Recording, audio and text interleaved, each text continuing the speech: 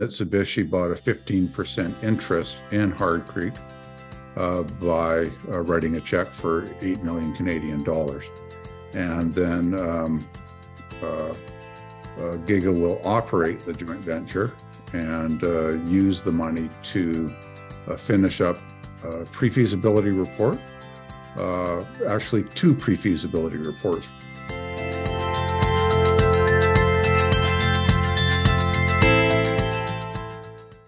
Hello to viewers catching this edition of Assay TV. We're with Giga Metals Corporation again to get an important update on developments with the Turnagain nickel cobalt sulfide deposit, vital for securing metals for the battery, EV, and energy storage industries, of course. And I'm speaking directly with Mark Jarvis, CEO of the company. Welcome back, Mark. Hey, Adam. It's good to see you. Yeah, thanks for coming back and speaking with us. Uh, great timing because we're announcing some news today of your strategic joint venture with Mitsubishi. Congratulations on that. Why don't we dive in on uh, the details of that? Can you take us through the impacts of this and how you've brought the strategic into the project? Okay, well, first of all, the deal itself is very simple. Uh, we've created a subsidiary called Hard Creek Nickel Corp uh, all of the assets pertaining to Turnagain, uh, the Turnagain project are in it. And the Mitsubishi bought a 15% interest in Hard Creek uh, by uh, writing a check for 8 million Canadian dollars. And then um, uh, uh, Giga will operate the joint venture and use the money to finish up a pre feasibility report uh, actually two pre-feasibility reports. One uh, sort of uh, getting into far more detail uh, on the PEA that we published last year. Um, and the other will be a bolt-on PFS level study um, to look at adding a pressure oxidation circuit. And that's really it in terms of material terms of the deal. It's uh, that simple. Um, in terms of how we got Mitsubishi on board, that's been quite a process. Uh, uh, we've been talking to them for more than three years. And uh, you know, the the original introduction was from our president, Martin Vydra. Right. Um, Martin is has been leading our uh, internal process to seek a strategic partner, and um, you know, it's been it's been a long, long slog. Uh, the discussions with Mitsubishi became more intense, say, about eight months ago. And we have been through a uh, very complete due diligence process, uh, very detailed. And uh, Mitsubishi has the capability. I mean, they're they're involved yeah. in mining business around the world. Uh, they're the largest uh, commodities trading company in Japan, mm. and uh, but they like to own minority interests in mines and have other people operate them uh, so they can get access to the output of the mine uh, for their trading arm.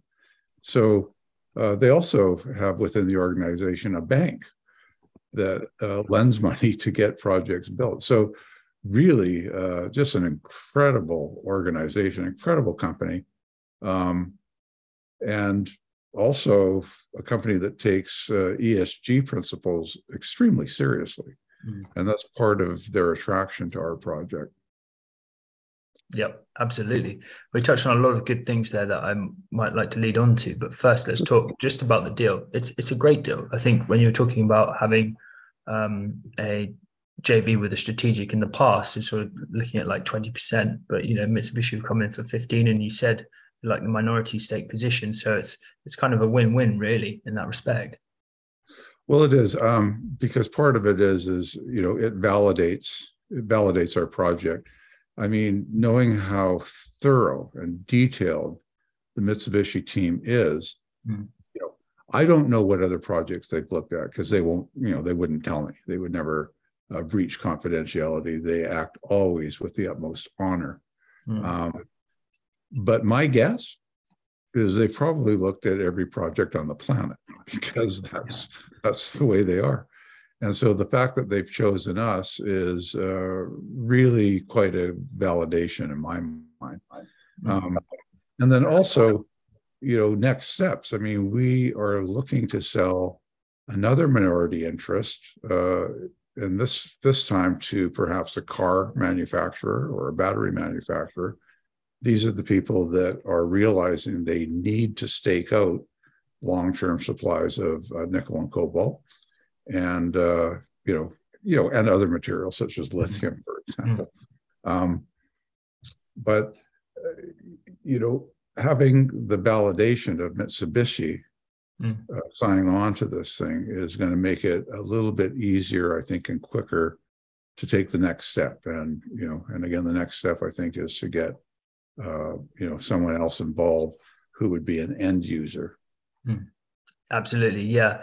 It seems that you know it's always been difficult for junior mining projects, just given the early nature, early stage nature of the of the projects, to to sort of speak to OEMs and that further downstream piece. But as you say, it's these building blocks of bringing the strategic in, the mine finance provider, um, and then also the raw materials need. It's really becoming apparent for the OEMs and for the EV manufacturers. You know, we saw Stellantis um, investing in a European project, exact, and they're starting to come closer now. They're starting to actually put capital in far more frequently. Yes, and and you know, I think what's happened is um, the whole supply chain model is changing mm. from sort of just-in-time inventory, worldwide supplies. You know, the manufacturers don't own. Uh, you know, any of the supplies coming in, they create a competition amongst their suppliers. Uh, that worked really well for a while, actually. But now the war in Europe, um, you know, the saber rattling of China around Taiwan. Mm. Oh, uh, people are justifiably very nervous about their supply chains. And so I think there's a movement to bring the supply chains closer to home, uh, to have your sources of supply located in stable countries that aren't going to go to war on a whim. Mm-hmm. And mm-hmm. um, you know, and in some cases where the materials are particularly strategic to actually uh, own at least some of the supply. And uh, and so I've seen that model change just even in the last year in in in, in our discussions with OEMs and uh, battery makers. Yep, absolutely. And I suppose just turning into the uh, Turnagain project, then what's exceptional about your project is the sort of purity of the type of nickel concentrate that you will be producing. Um, and that's why it's aligned to the battery industry, not the stainless steel industry. And that's obviously a large growth area within the overall nickel market. Um, but let's just talk about you know nickel within the battery chemistry. You know LFP's obviously had a bit of um, gains in terms of the dominant use this year, but I think that's very much down to the supply squeeze that we've got. You know the lack of quality nickel deposits. You know, I totally agree with that. I mean, uh, LFP is a good technology, but it's limited in range. You know, mm. uh, LFP batteries are heavier, and they've got less energy uh, energy density than nickel-based, uh, you know, chemistries. Uh, but thank goodness for LFP because I think without it, you couldn't really have an electric vehicle revolution. Mm. there's just not enough nickel, and you can't bring enough nickel on quickly enough. Right. I mean, when I say there's not enough nickel, there is plenty of ferronickel in the world. There right. is no shortage of ferronickel, but there is a shortage of nickel that is, you know, easily and economically, um, you know, convertible to something suitable for the cathode uh, mm. users. So, um, yeah, I, I, I, I just, I just think we are supply constrained Mm. And nickel is one of the supply constraints for the EV business going forward. Yep. And the range capabilities, you know, for a North American or European consumer, it's always been the range risk that sort of slowed EVs. So they're going to want um, nickel batteries that give them that quality. Yes, and and uh, and they are, you know, like the battery makers are spending huge money on research into how to increase the percentage of nickel uh, in the cathode. So, you know, uh, and of course, the next big step, um, although it's not immediately on the horizon, will be solid state lithium ion batteries with the nickel chemistry. Yeah. And that will ab- absolutely blow the doors off of the whole range question, mm. uh, you know, and the safety question as well. Mm, certainly. Okay. Um, so, given what we know at this point in the nickel market, you know, let's talk about the um, um, the qualities of um, sorry the near term catalysts that you've got coming up that are going to be interesting for investors to pay attention to. You've mentioned the PFS and redoing some of these reports and really building on that uh, qualitative um, stack, stack of statements. Well, you know, I think the PFS is going to be interesting, and uh, a particular interest will be the bolt-on study uh, to, uh, you know, add a pressure oxidation circuit, um, okay. because you know, if you produce a concentrate at this time, really the only buyers for concentrate are smelters. Mm. And smelters are uh, an old market. They're a shrinking market. Nobody is building new smelters because they're environmentally, you know, quite horrible. so, um, you know, uh, and there's maybe five or six smelters in the world that'll buy concentrate. Whereas if you can produce uh, MHP right now, uh, mixed hydroxide precipitates, um, well, that that form of nickel and cobalt, that chemical form, is in huge demand from battery manufacturers today. You can't produce it fast enough; it just flies off the shelves. And so, um, you know, if you, we think in five years that there's going to be hundreds of buyers for MHP. Mm. So it won't be a very small, restricted, you know, opaque market. It's going to be a wide, uh, deep, and liquid market for that form of nickel. That's what we.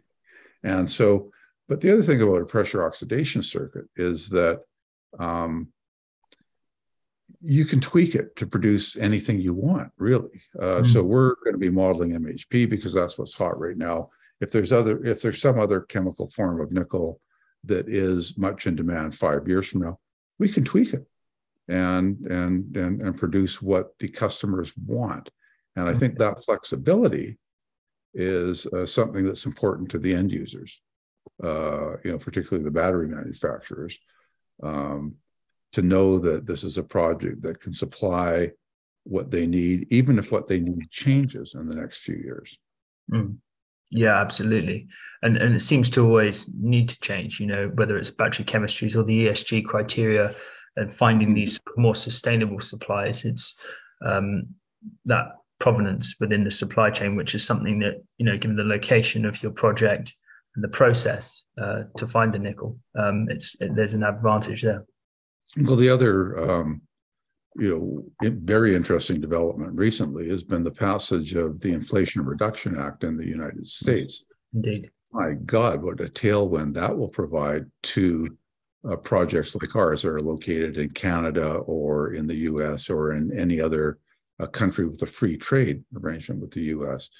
Um, it's a very clever use of you know rebates to incentivize industry to invest in mining projects you know more locally so mm.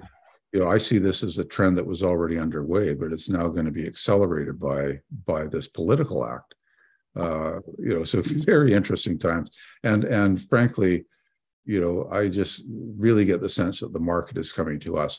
I mean, look, if if you know, in North America, in terms of projects of this scale, uh, capable of producing, you know, in the neighborhood of 35,000 tons per year of nickel mm. for, you know, for decades. Um, we are the only one that has stayed focused on the cathode. We're the only one that has stayed focused on class one nickel. All of the other projects uh, out there uh, are focused on the stainless market. And you know, we think the stainless market is extremely well supplied, whereas the battery market is not. So, you know, people talk about the uh, battery supply chain, but you know, show me the engineering. And I think that our project has the strength of being possibly the lowest technical risk. And that is part of what attracted Mitsubishi to us is mm. it is so simple. We have 99% of our nickel and cobalt in one mineral, pentlandite.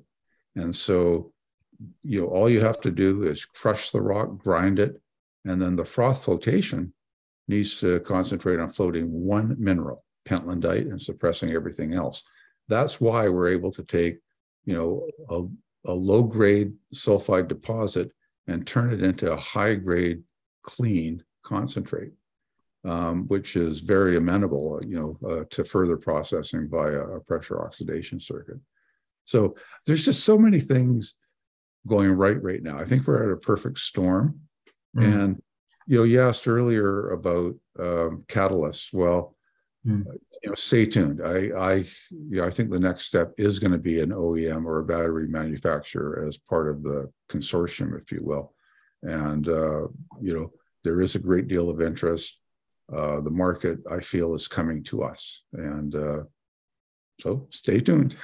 yeah, excellent. Well, Mark, thank you very much for providing the update there. Um, that's excellent to get an idea of where you are on this new trajectory. And congratulations on the JV again. And we look forward to hearing about that OEM down the line. Okay. Very good. Thank you, Adam.